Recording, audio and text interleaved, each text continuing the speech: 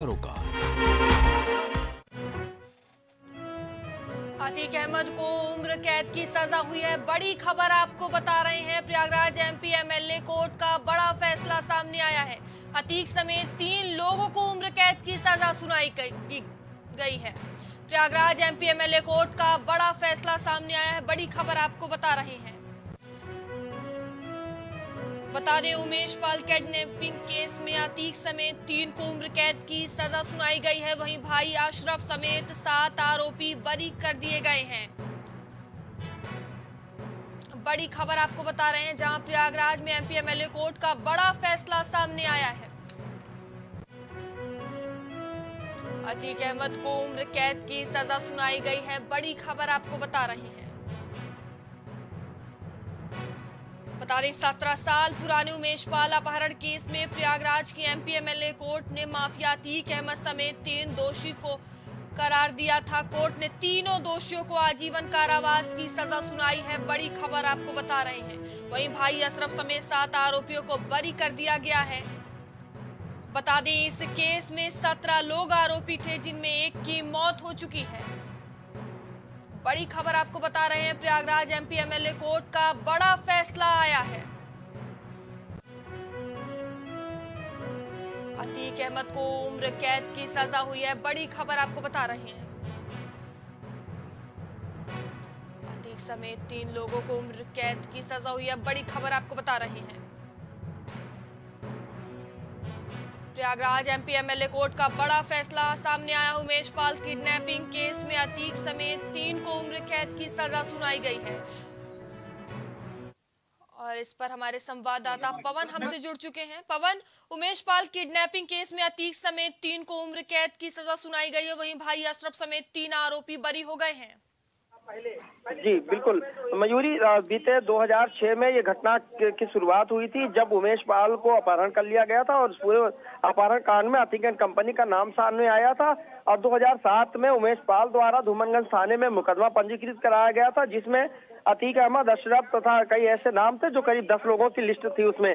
और अगर पूरे घटनाक्रम को देखा जाए तो उस पूरे घटनाक्रम के दौरान एक आरोपी की पूर्व में मौत हो चुकी है और बीते कल देर शाम को गुजरात के साबरमती जेल से अतीक अहमद को नैनी सेंट्रल जेल लाया गया। वहीं उसका भाई अशरफ, जो बरेली के जेल में बंद था, उसको भी बड़ी कड़ी सुरक्षा के बीच नैनी सेंट्रल जेल लाया गया। और आज जब एमपी एमएलए कोर्ट में इन सब की पेशी की गई तो अतीक अहमद, दिनेश पासी व खान दौलत हनीफ दो सिद्ध पाए गए हैं। जबकि अतीक अहमद का भाई अशरफ सहित सात लोग जो है, वो इस, उसमें बरी है। अगर पूरे घटना को देखा जाए तो सौलत हनीफ को अन्य धाराओं के साथ तीन में व अतीक अहमद व दिनेश पासी को एक सौ सैतालीस एक सौ अड़तालीस एक सौ उनचास तीन सौ इकतालीस तीन सौ बयालीस तीन सौ चौसठ व एक सौ बीस बी में दोष सिद्ध किया गया। मतलब जो ये फैसला है ये बड़ा फैसला कहा जाएगा चूँकि पूरे घटना की बात की जाए तो करीब सत्रह साल बाद इस पूरे घटना को लेके एमपी एमएलए कोर्ट ने फैसला सुनाया है और अतीक अहमद दिनेश पासी व खान दौलत हनीफ जो है दो सिद्ध पाए गए हैं तो तीनों को आजीवन कारावास की सजा सुनाई गई। तो ऐसे में बिल्कुल साफ़ है कि इन तीनों आरोपियों को उम्र कैद की गई है। जी। पवन भाई अशरफ समेत सात आरोपी बरी कर दिए गए हैं। किन आधारों पर ये बरी किए गए हैं? चूँकि इस पूरे मामले को लेकर दस आरोप दस लोगों पर मुकदमा दर्ज किया गया था। और जैसा कि मैंने पहले बताया कि एक आरोपी की पहले पूर्व में ही मौत हो चुकी है। कोर्ट द्वारा इन सत्रह सालों में तमाम इस मामले को लेकर जो है सामने जो तथ्य रखे गए थे, इन पूरे बातों को लेके कई बार इस मामले को कोर्ट में चलाया भी गया था और आज जब एमपी एमएलए कोर्ट में ये फैसले की घड़ी सामने आई तो इस फैसले की घड़ी में देखा गया कि अतीक अहमद, दिनेश पासी व खान दौलत हनीफ को दोष सिद्ध पाया गया है और तीनों को जो है आजीवन कारावास की सजा सुनाई गई है। जी।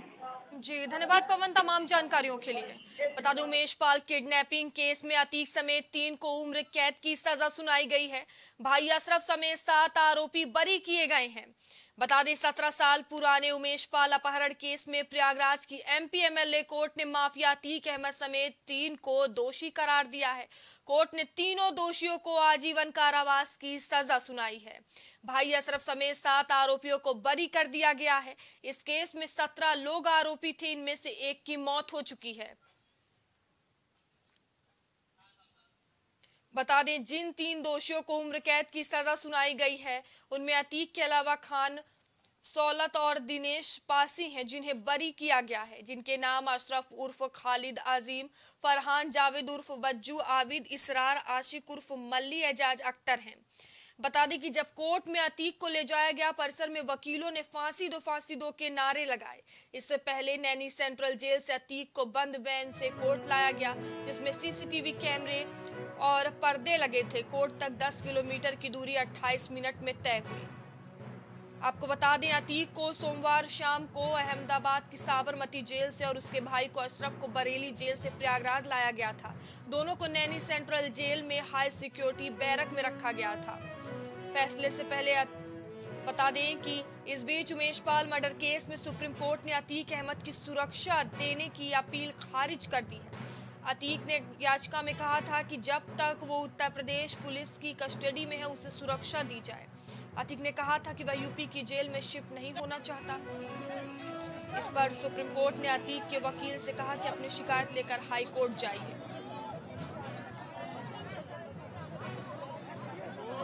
बता दें, सत्रह साल पुराने उमेश पाल अपहरण केस में प्रयागराज की एमपीएमएलए कोर्ट ने माफिया अतीक अहमद समेत तीन को दोषी करार दिया है। बड़ी खबर आपको बता रहे हैं। और तीनों दोषियों को आजीवन कारावास की सजा सुनाई गई है।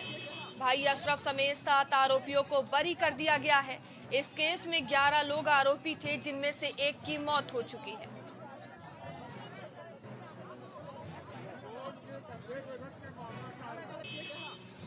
बता दें, जिन दोषियों को उम्र कैद की सजा सुनाई गई है, उनमें अतीक के अलावा खान सौलत और दिनेश पासी हैं, जिन्हें बरी किया गया है। उनके नाम अशरफ उर्फ़ खालिद अजीम, फरहान, जावेद उर्फ़ बज्जू, आबिद शामिल हैं। आपको बता दें, सत्रह साल पुराने उमेश पाल अपहरण केस में प्रयागराज के की एमपीएमएलए कोर्ट ने माफिया अतीक अहमद समेत तीन को दोषी करार दे दिया है। कोर्ट ने तीनों दोषियों को आजीवन कारावास की सजा सुनाई है।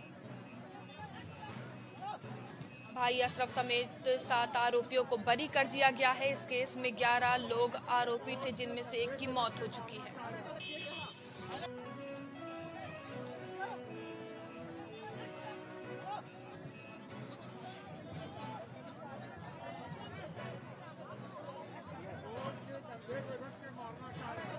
बता सत्रह साल पुराने उमेश पहला अपहरण केस में।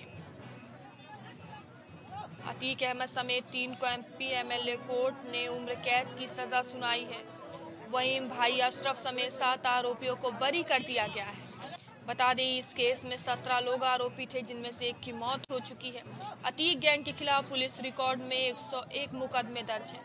पहली बार किसी मामले में गैंगस्टर को दोषी ठहराया गया और सजा हुई है।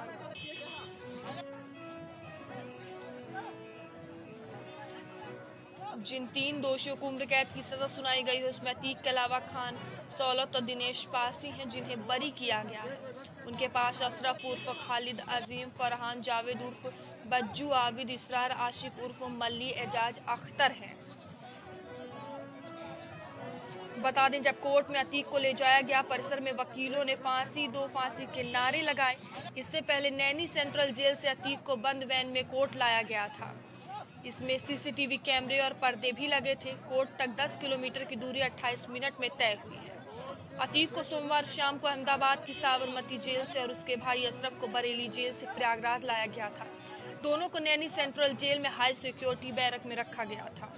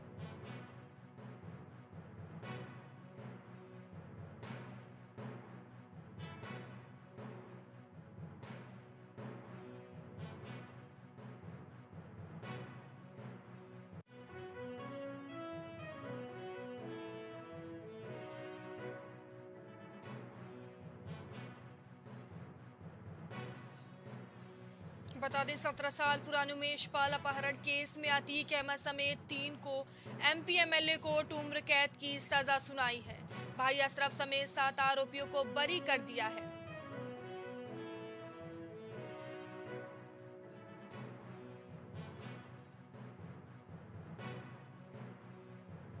बता दें इनमें एक की मौत हो चुकी है। इस पूरे मामले में 11 लोग आरोपी अतीक गैंग के खिलाफ पुलिस रिकॉर्ड में।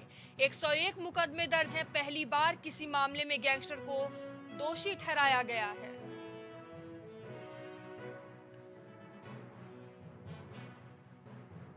बता दें, सत्रह साल बाद इस मामले में सजा सुनाई गई है। सत्रह साल पुराने उमेश पाल अपहरण केस में अतीक अहमद समेत तीन को उम्र कैद की सजा सुनाई गई है।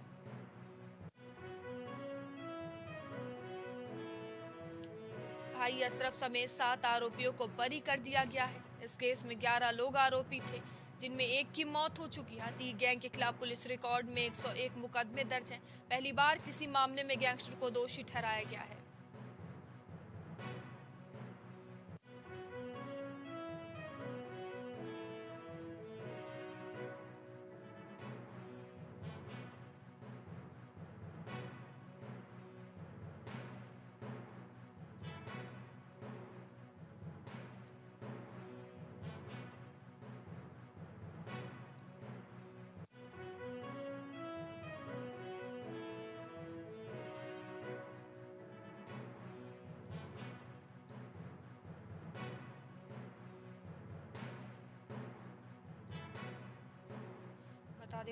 पाला अपहरण मामले में दो साल अतीक अहमद को आजीवन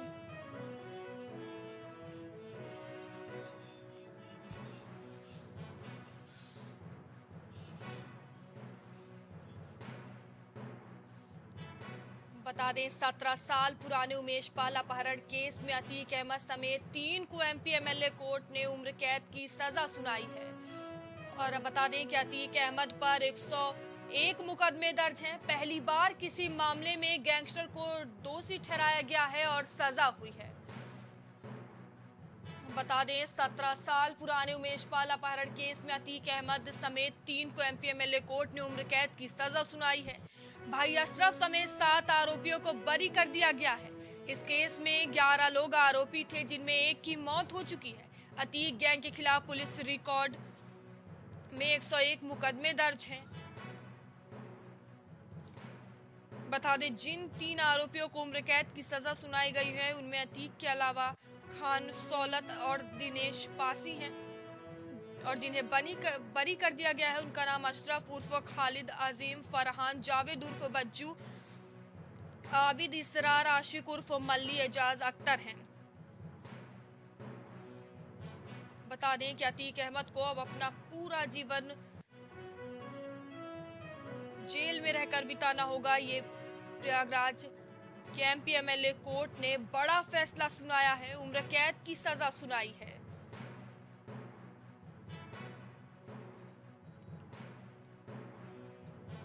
बता दें, उमेश पाल, अपहरण मामले में अतीक अहमद को उम्र कैद की सजा सुनाई गई है।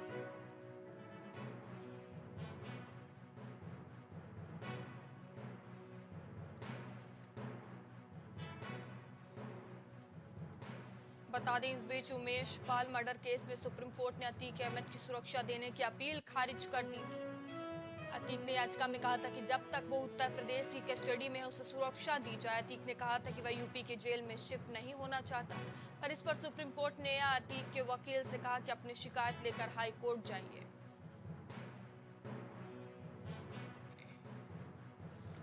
सत्रह साल पुराने उमेश पाल अपहरण केस में अतीक अहमद समेत तीन को एमपी, एमएलए कोर्ट ने उम्र कैद की सजा सुना दी है। वहीं अतीक अहमद को पूरे जीवन जेल में रहकर काटना होगा। भाई अशरफ समेत सात आरोपियों को बरी कर दिया गया है। इस केस में 11 लोग आरोपी थे, जिनमें एक की मौत हो चुकी है। अतीक गैंग के खिलाफ पुलिस रिकॉर्ड में 101 मुकदमे दर्ज हैं। पहली बार किसी मामले में गैंगस्टर को दोषी ठहराया गया और सजा हुई है।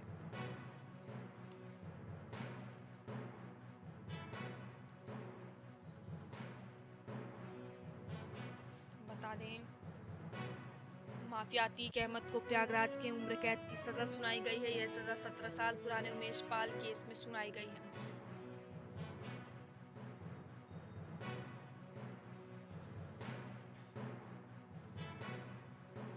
बता दें, जब कोर्ट में अतीक को ले जाया गया, परिसर में वकीलों ने फांसी दो फांसी दे के नारे लगाए। इससे पहले नैनी सेंट्रल जेल से अतीक को बंद वैन से कोर्ट लाया गया था, जिसमें सीसीटीवी कैमरे और पर्दे लगे थे।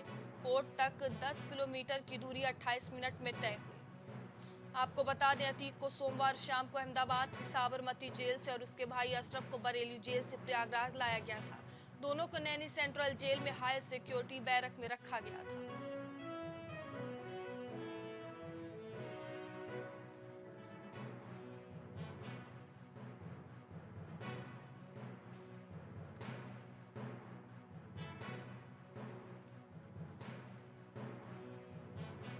दें माफिया अतीक अहमद को उम्र कैद की सजा सुनाई गई है। उमेश पाल किडनैपिंग केस में ये सजा सुनाई गई है।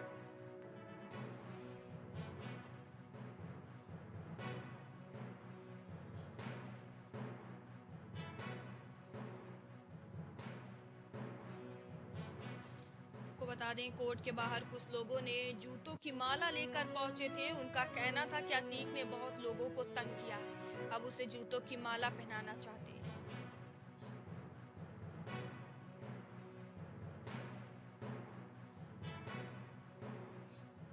माफियाती अहमद को बता दें, उम्र कैद की सजा सुनाई गई है और यह सजा सत्रह साल पुराने उमेश पाल अपहरण केस में सुनाई गई है।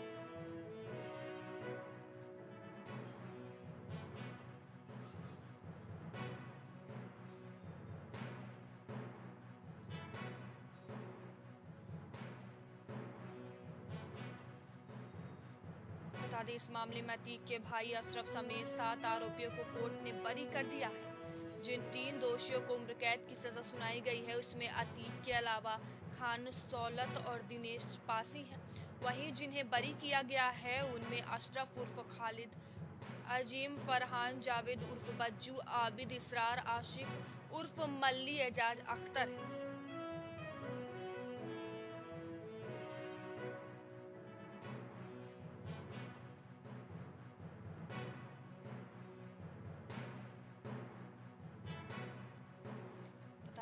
मामले में अतीक के भाई अशरफ समेत सात लोगों को कोर्ट ने बरी कर दिया है।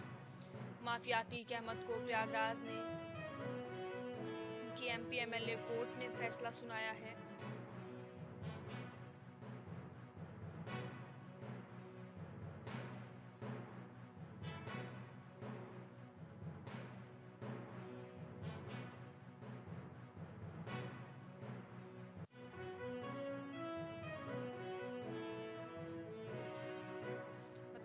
बता दें उमेश पाल अपहरण के केस में अतीक अहमद को उम्र कैद की सजा सुनाई गई है।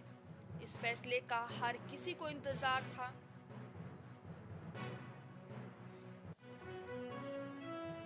तो उमेश पाल हत्याकांड मामले में माफिया अतीक अहमद को प्रयागराज के एमपी, एमएलए कोर्ट ने उम्र कैद की सजा सुनाई है। यह सजा सत्रह साल पुराने उमेश पाल अपहरण केस में सुनाई है। पुलिस रिकॉर्ड के में आती गैंग पर 101 मुकदमे हैं और ये पहला मामला है जिसमें अतीक अहमद को दोषी करार किया गया है और सजा सुनाई गई।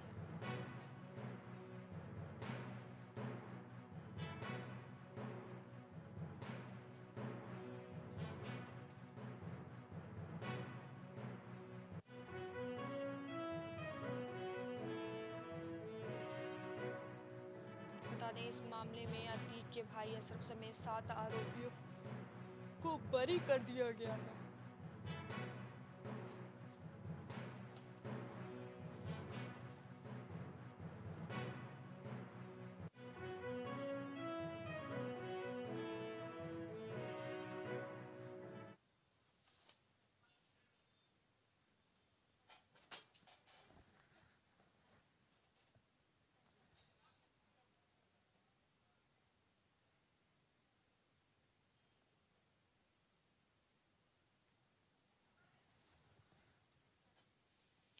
बता दें, माफिया आतीक अहमद को प्रयागराज की एमपी एमएलए कोर्ट ने उम्र कैद की सजा सुनाई है। यह सजा सत्रह साल पुराने उमेश पाला पहाड़ केस में सुनाई है। पुलिस रिकॉर्ड में अतीक गैंग पर 101 मुकदमे है। यह पहला मामला है जिसमें अतीक दोषी ठहराए गए हैं और उनको सजा मिली है।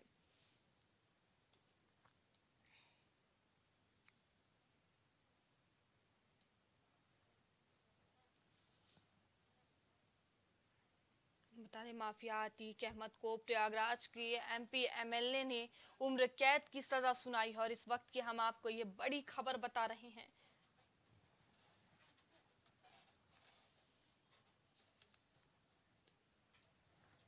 कोर्ट के फैसले के बाद उमेश पाल की माँ शांति देवी ने कहा, मेरा बेटा शेर की तरह लड़ा था। अतीक को फांसी की सजा होनी चाहिए। वहीं पत्नी जयापाल ने कहा, योगी जी मेरे पिता समान है वह हमारे परिवार का ध्यान रखेंगे।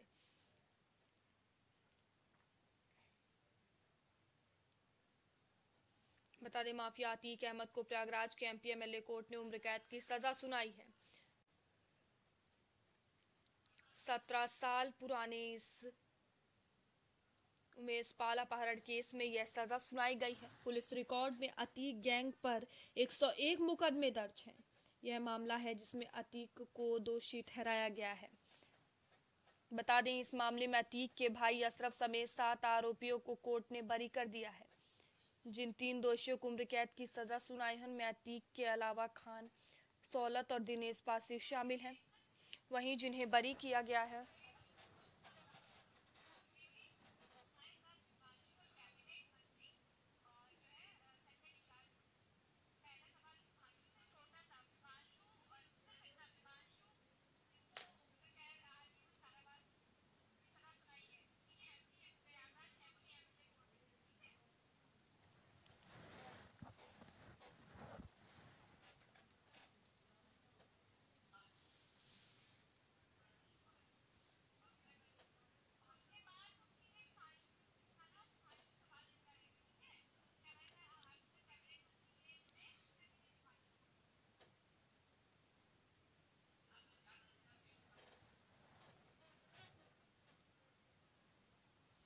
बता दें, माफिया अतीक अहमद को प्रयागराज की एमपी एमएलए कोर्ट में उम्र कैद की सजा सुनाई गई है। सत्रह साल पुराने उमेश पाल अपहरण केस में यह सजा सुनाई है। पुलिस रिकॉर्ड में अतीक गैंग पर 101 मुकदमे दर्ज हैं।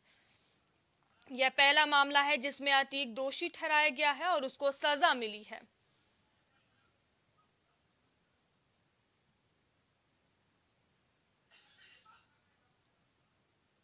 इस मामले में अतीक के भाई अशरफ समेत सात आरोपियों को कोर्ट ने बरी कर दिया है।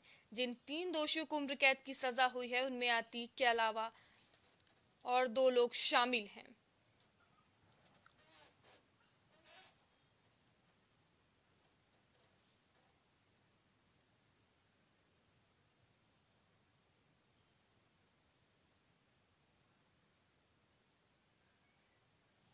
बता दें, प्रयागराज की एमपी एमएलए कोर्ट ने उम्र कैद की सजा सुनाई है। सत्रह साल पुराने उमेश पाल अपहरण केस में यह सजा सुनाई गई है।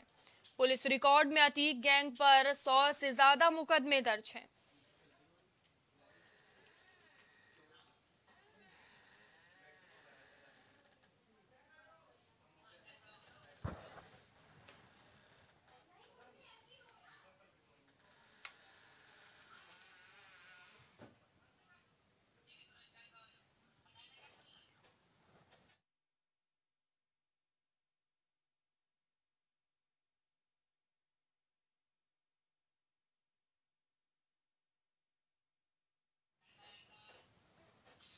हमारे साथ हमारे सहयोगी विवांशु मणि त्रिपाठी हमसे जुड़े हुए हैं और उनके साथ कैबिनेट मंत्री संजय निषाद है।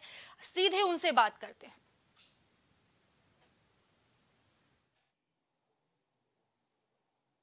अपहरण मामले में अतीक अहमद को उम्र कैद की सजा सुना दी गई है। आपके साथ कैबिनेट मंत्री संजय निषाद हैं। आप उनसे बातचीत करने की कोशिश करें।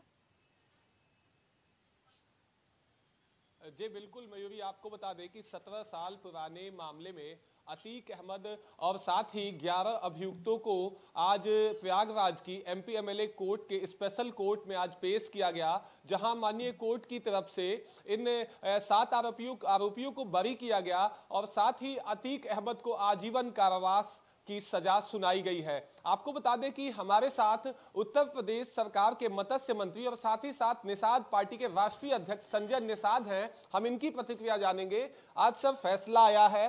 बात की जाए तो तमाम, अगर देखें तो विधानसभा सत्र के दौरान आप लोग तमाम अपराधियों पर सवाल उठाते हुए नज़र आए थे। अब इस सुनवाई पे क्या, किस नज़र से देखते हैं? मैं तो पहले न्यायालय को धन्यवाद दूँगा।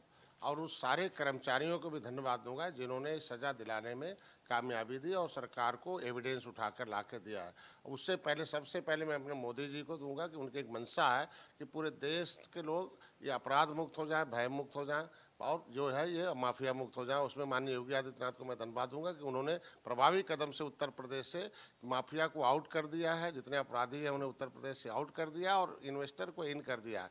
यही सरकार, यही यही यही प्रदेश है।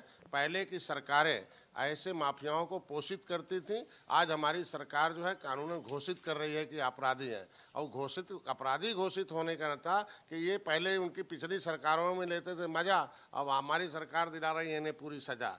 आज सजा के पात्र जितना बड़ा, इनका जितना बड़ा दोष है, हम तो मुख्यमंत्री को धन्यवाद दूँगा ना कि आज के दिन में यही अधिकारी कर्मचारी हैं ऐसा माहौल दिया ऐसा प्रशासन दिया है कि हम किसी भी अपराधी को सजा दिलाने में कामयाब हो रहे हैं। पहले के लोग संरक्षित होते थे पोषित होते थे आज हम घोषित कर रहे हैं। पहले पोषित होते थे ये अपराधी, आज हमारे लोग, देखो, न्यायालय ने घोषित कर दिया एक अपराधी है। और इनको जितना बड़ा, इनको जिस जिस एक्ट में है, अभी तो मुकदमे 101 थे, इसमें पहला मुकदमा, अभी तो बहुत मुकदमे हैं, उसमें भी सजा होनी ही होनी है, चलेगा। लेकिन आज सौ, एक सौ एक मुकदमे जिसके पास हों, इतने लंबे समय से चल रहे हों, और वो वो आदमी किस तरीके से पिछली सरकारों में पोषित हुआ करते थे, संरक्षित हुआ करते थे, उन लोगों के अंदर उनको संरक्षण मिलता था। आज संरक्षण नहीं मिल रहा, आज सजा मिल रहा है, उसके लिए अपनी सरकार को धन्यवाद दूँगा। उसमें जनता को भी धन्यवाद दूँगा कि सत्तर साल समझने में लगा भले कि ये जो पिछली सरकारें थी, किस तरीके से हमारा वोट लेकर उन्हीं पर अन्याय होता था। वोट तो लेते थे, बड़ी मीठी मीठी बात करते थे जब इलेक्शन आता था, लेकिन काम किसके लिए करते थे लोग? उन्हीं के लिए करते थे जो जनता को सताते थे, प्रदेश को जो धन पर कब्जा करते थे। मतलब कानून का, संविधान का कितना दुरुपयोग पिछली सरकारों में होता था, उसका जीता जागता उदाहरण है कि आज के दिन में देख लो 101 मुकदमे हुए हों, आज हमें कम से कम एक साल के अंदर हमें एक साल हुआ इसमें, एक साल के अंदर मान्य के अंदर देख लीजिए कि पहला मुकदमा है दोषी। ऐसे नहीं बहुत लोग हैं। देखो न्यायालय पर विश्वास करना चाहिए। देखिए उसमें जो अपराध नहीं था तो उन्हें मुक्त भी कर दिया। दोष दोषी जो नहीं पाएगा तो इसीलिए कहते हैं कि लोगों को न्यायालय पर विश्वास करना चाहिए। लेकिन विपक्ष के लोग कुछ लोग ऐसे हैं कि जिनको लगता है कि कुछ है नहीं जनता ने ज़ुबान बंद कर दिया है तो कहीं भी पाते हैं चाहे न्यायालय में दोष हो तो भी सरकार को कहीं और पाते हैं भी सर, अरे सरकार भाई किसी भी लोकतंत्र में विधायिका है, जो बिल बन गया, कानून बन गया तो जो कानून के साथ रहेगा, जो संविधान के साथ रहेगा, उसका विकास हो जाएगा। और जो कानून और को अपने हाथ में लेगा, संविधान के साथ नहीं रहेगा, उसका विनाश हो जाएगा। माननीय जैसे मुख्यमंत्री जी ने कहा था, मिट्टी में मिल जाएँगे तो ऐसे लोग, जितने लोग इस तरह के हैं, सब मिट्टी में मिल जाएँगे। क्योंकि उन्होंने ऐसा काम, जैसे हमारे यहाँ भारतीय संस्कृति में कहा गया कि जैसी करनी, वैसी भरनी है माननीय, हमारे जो है कबीर दास ने कहा था, जैसे जो करण, वैसे भरन तो जैसा इन्होंने किया, वैसा निश्चित रूप से मिलेगा। हम तो सभी लोगों को आज के दिन में हम अपने मिशन पर, भारतीय जनता पार्टी, एनडीए अपने मिशन पर कामयाब हो रही है कि जो वादा किया था जनता के साथ, सैंतीस बरस बाद दोबारा हमारे ऊपर विश्वास किया तो उस विश्वास पर हम लोग कायम हैं कि इस तरह से जितने भी अपराधी हैं, वो अब अपराधियों को सजा मिलेगी, जहाँ जगह है वहाँ मिलेगी। अब जेल है ना, पहले वो बाहर थे तो मज़ा लेते थे, अब जेल में है तो सजा है। तो सजा की जो जगह है, सजा है, मज़ा की जगह मज़ा है। तो जनता को मज़ा चाहिए था, लेकिन मज़ा कौन काट रहे थे? माफिया काट रहे थे। और जनता को गरीबी, लाचारी, बेकारी, परेशान उनके लिए जो वातावरण दिया था, किस तरीके से वातावरण था मालूम है कि पहले के ग्लोबल इन्वेस्टर समिट होते थे, लेकिन कहाँ होते थे? बम्बई और दिल्ली में होते थे। अगर उन उन बड़े व्यापारियों से पूछा जाए, मैं तो बाहर गया था, अभी बहुत देशों में भ्रमण किया तो उसमें पूछा, भाई, कहाँ इस देश में आ गए तुम लोग? आप लोग अपने देश को छोड़ के अपना रुपया खर्च कर रहे हैं, दूसरे देशों की इन्वेस्ट करके मज़बूत कहें, वहाँ का माहौल ही इतना था कि हम खुद नहीं सुरक्षित थे तो हमारा हमारा धन कैसे सुरक्षित हो सकता है। तो ये ये सरकारें पिछली थी जो किसी किसी को सुरक्षा नहीं दे सकती थी। आज देखिए, ग्लोबल इन्वेस्टर समिट में पूरी दुनिया के लोग आए पूरे हम लोग ज़िले में ज़िले में पहुँच पहुँचे इसके मतलब हम शहर बड़े बड़े शहर नहीं जिलों में भी अगर इन्वेस्ट करने के लिए हमारा उद्यमी तैयार हो गया तो ये बहुत बड़ी बात है कि कम से कम धरातल पर भी लोगों को सुरक्षा न्याय और विश्वास दिलाने में माहौल खड़ा करने में हमारी सरकार कामयाब रही है। इसलिए मैं अपनी सरकार को माननीय मोदी योगी जी को बहुत धन्यवाद दूँगा और टीम को भी धन्यवाद विवासु देखिए अतीक के भाई को इस पूरे मामले में बरी कर दिया गया है। तो क्या माना जाए कि उमेश पाल को इससे न्याय मिल गया है? दबाव में इनको जो है, ये पोषित करते थे। आज के दिन में आज घोषित करने में कामयाब हो रहे पुलिस ने घोषित किया, न्यायालय उसे सजा दे रही है। भाई, आज के दिन में हमारा, हमारे जो अधिकारी कर्मचारी हैं, उन्हें एविडेंस इकट्ठा करने में अवसर मिला कि भैया, उनको एविडेंस इकट्ठा करो, समय सीमा के अंदर इनको सजा दिलाने में। तो आज के दिन में मैं बधाई दूँगा। पिछली सरकारों ने कैसा कानून का खुला उल्लंघन किया, हमें पूरा मालूम है। कि सात जून दो अगर देखा जाए तो इस मामले में अतीक अहमद के भाई को बरी किया गया है। इसको किस नज़र से देखते हैं? भाई देखिए न्यायालय है न्याय पर विश्वास है। हम कहते हैं कि आज के दिन में जो जिस तरह का आ गया अगर नहीं एविडेंस था तो कहें को उनको सजा दी जाएगी। आज के दिन में भाई होने के नाते थोड़ी सजा दी जाएगी। अगर वो जो है आज के दिन में हम जो जैसा जैसा उन्होंने किया जो सजा के पात्र से सजा दिया और जो छोड़ने लायक था दिया इसलिए हम न्यायालय को धन्यवाद दूँगा और न्यायालय ने अपना न्याय किया मैं बधाई देता हूँ। अगर बात की जाए तो इस फैसले के बाद जो राजू पाल हैं या उमेश पाल हैं, उनके परिवार की सुरक्षा को दृष्टि से आप क्या सोचते हैं, क्या उन्हें सुरक्षा प्रदान करनी चाहिए? देखिए, हमारी सरकार जैसा भी हो, सुरक्षा जैसे मांगते हैं तो सुरक्षा देती है हमारी सरकार। जैसे हमारी हम थे हम खुद ही नेता हम थे हम अपने मछुआ समुदाय की आवाज़ उठा रहे थे एक समय और रेल ट्रैक पर था। उनकी सरकार थी जो पिछली जो उल्टा पुल्टा बोल रहे हैं आज के दिन में उनकी सरकार ने हम लोगों को फर्जी 302 का मुकदमा डाल दिया। हमारे युवाओं को पूछा कि, कि इसमें ज़्यादा पढ़ा लिखा कौन है? तो दो लड़के जो बंद थे उन्होंने कहा मैं ग्रेजुएट हूँ एक पोस्ट ग्रेजुएट है। उनको फर्जी कट्टा दिखा दिया। मतलब बताइए कैसा अपराध है जाति के? हम लोग अपने लोगों को मांग करते थे तीन सौ दो मुलिम बना दिया हम लोग सबसे बड़ा अपराधी घोषित कर दिया। लेकिन मैं धन्यवाद दूँगा सरकार ने जाँच कराई और जाँच में लगा कि नहीं डॉक्टर संजय समाज की सेवा कर रहे हैं तो आज हमारी सरकार हमें सुरक्षा भी दे रही है आज हमें अवसर भी दे रही है सेवा करने का। ये इस होता पूरे है मामले में जो सबसे बड़ी अफवाह थी वो गाड़ी पलटने की थी। गाड़ी तो नहीं पलटी अब सजा के बाद अफवाह अफवाह ही रह गई। सजा इनके चाहिए जो घोषित लोग हैं और जो पिछली सरकारों से पोषित लोग थे जी, बिल्कुल आपको बताया निषाद जी कि जब ये साबरमती जेल से अतीक अहमद को सड़क मार्ग से 1300 किलोमीटर प्रयागराज लाया गया, उस वक्त कहीं ना कहीं सियासत में और साथ ही साथ गली मोहल्लों में चर्चा थी कि गाड़ी पलट जाएगी। इस पे आप क्या कहेंगे? एक्चुअल में देखिए, जिसके पास कोई काम नहीं है, जो पिछली सरकारों ने, जैसे कहते हैं, जैसे, जैसी जैसी भावना रहती वैसे ही मूर्त देखता है। तो जिन लोगों ने जैसा जैसा किया अपनी सरकारों में वही सोचते हैं सरकार में अरे हमारी सरकार हम हम हमारी सरकार कानून क्यों हाथ में लेगी? जो कानूनन जो सिस्टम है जिस सुरक्षा से आना चाहिए अपराधी है उसे हम जहाज़ में थोड़ी यात्रा कराएँगे। भाई अपराधी है तो अपराधी जैसे है और न्यायालय को अपराधी घोषित करता है ना न्यायालय से विकास दुबे के साथ जोड़ के कहा जा रहा था कि जैसे विकास दुबे की गाड़ी पलटी वैसे अतीक भी पलट सकती इस तरह की चर्चाएँ थी। नहीं गाड़ी किसी घटना को आप किसी व्यक्ति से नहीं जोड़ सकते हैं। आज के दिन में। हैं देखिए अतीक अहमद पर 101 से केस है लेकिन अभी तक उनको इस पे कोई भी सजा तो नहीं हुई ये पहली बार है जो किसी है, तो मुकदमे में उन्हें सजा हुई है। कर दिया पुलिस वाले। अरे वो आप सुरक्षा में वो क्या बंदूक लिया है तो पूजा करने के लिए थोड़ी किया है। बंदूक की पूरी जानकारी रखता है कि कैसे हमें कब हमें सुरक्षा में किसको हमें क्या करना है। तो आज के दिन में इस तरह की सवाल बे, बे, बेबुनियाद हैं और जिस तरीके से आप देखे होंगे कि आपने हमारी जो व्यवस्था प्रशासन ने किस तरीके से उसे सुरक्षित न्यायालय तक लाई? जो काम हमारे प्रशासन का था प्रशासन ने किया। जो न्यायालय का काम है न्यायालय ने किया। यही तो इसी को तो लोकतंत्र कहते हैं इसी को व्यवस्था कहते हैं ना। तो हमने प्रशासनिक व्यवस्था अच्छा दिया सुरक्षित उसको न्यायालय तक पहुँचाया। न्यायालय ने जो काम था न्यायालय ने किया। जिसका जो काम हमारे लोगों का काम हम लोग करेंगे हमारी सरकार का काम अलग। तो विधायिका का काम अलग है कार्यपालिका का काम अलग है न्यायपालिका। तो हम लोग सबको अलग अलग सम्मान देते हैं यही तो अंतर था पिछली सरकारों में। अगर बात की जाए तो सौ से अधिक मुकदमे हैं। पहली ऐसा केस है जिसमें सजा हुआ है।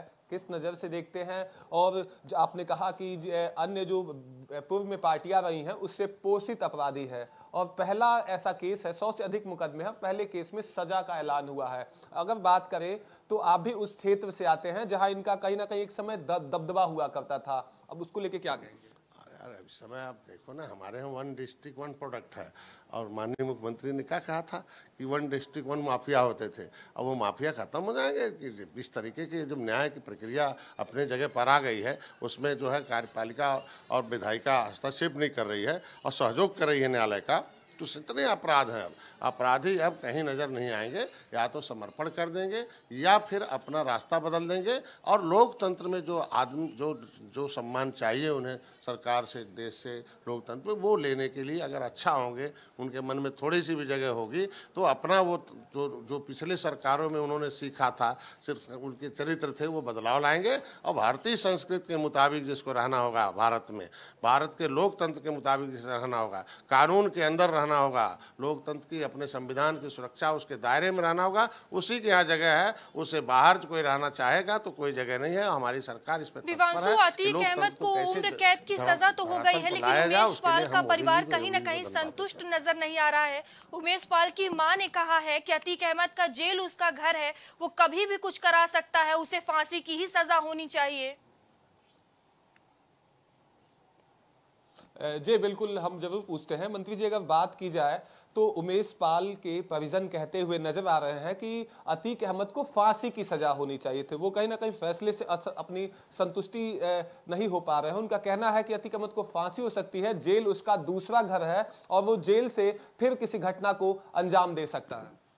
देखिए, न्यायालय का काम है, हम क्योंकि कोई भी व्यक्ति को न्यायालय पर कोई अंगुली नहीं, वो एक हमारा, इस भारत का एक न्याय देने की प्रक्रिया है, वो अपने हिसाब से जज है, जज के, जज को जजमेंट करने से पहले उन्हें बहुत कुछ तो विचारना पड़ता, सोचना पड़ता और जो एविडेंस होता है उसी के अनुसार उतना ही दिया जा सकता, उससे नहीं किया जा सकता हम तो जज को धनबाद दें, अभी सौ केस और है ना, अभी और भी इस पर है तो अभी उस पर चलेगा, सौ केस में आएगा, समय आएगा तो जो उसको सजा देखिए, जैसा जो एविडेंस मिलता है, यही तो हमारे देश का खासियत है कि मुस्लिम देशों में देखो छोटा सा भी केस है तो बड़ी सज़ा होती है बड़ा सा केस है तो छोटी सज़ा। हमारे यहाँ जैसा केस है, वैसी सज़ा है।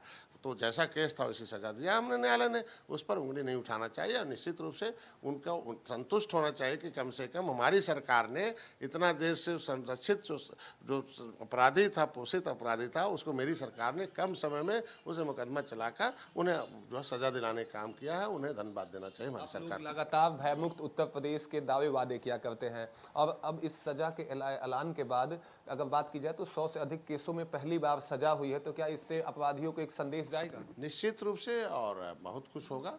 पिछली सरकारों ने तो ढेर सारे ऐसे लोगों को मतलब जो किसी काम को भी अपराध में नहीं थे उन्हें भेज दिया था अपराधी बाहर घूम रहे थे। अब हमारे सरकार में अपराधी सब अंदर हैं या तो प्रदेश से बाहर चले गए हैं या तो प्रदेश मतलब या तो जेलों में होंगे। दो दो चार बच्चे होंगे अब वो अपने आप सुधर जाएँगे और इससे बड़ा संदेश है कि अब हमें अब कानून हमारा कानून अपना काम करेगा विधायिका अपना काम करेगा कार्यपालिका अपना काम करेगा इसलिए अपराधियों के अंदर अब भय होगा और निश्चित रूप से उन्हें सुधरने का अवसर भी मिलेगा। अब तो अतीक अहमद को सजा का ऐलान हो गया है तो, तो अब उन्हें साबरमती जेल ले जाया जाएगा या नैनी सेंट्रल जेल में रखा जाएगा?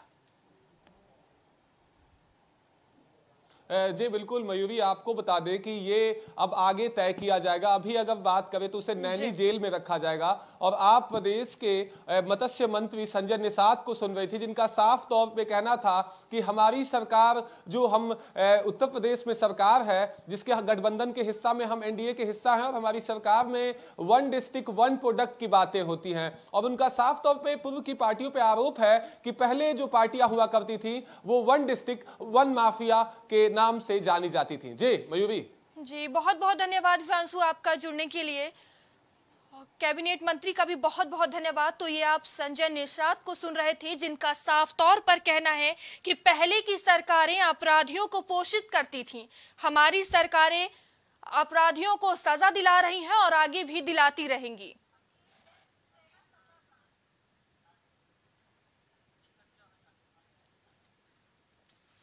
बता दें माफिया अतीक अहमद को प्रयागराज की एमपीएमएलए कोर्ट ने उम्र कैद की सजा सुनाई है। सत्रह साल पुराने उमेश पाल अपहरण केस में यह सजा सुनाई है। पुलिस रिकॉर्ड में अतीक गैंग पर 101 मुकदमे दर्ज हैं। यह पहला मामला है जिसमें अतीक दोषी ठहराया गया है। उसको सजा मिली है। बता दें, इस मामले में अतीक के भाई अशरफ समेत सात आरोपियों को कोर्ट ने बरी कर दिया है।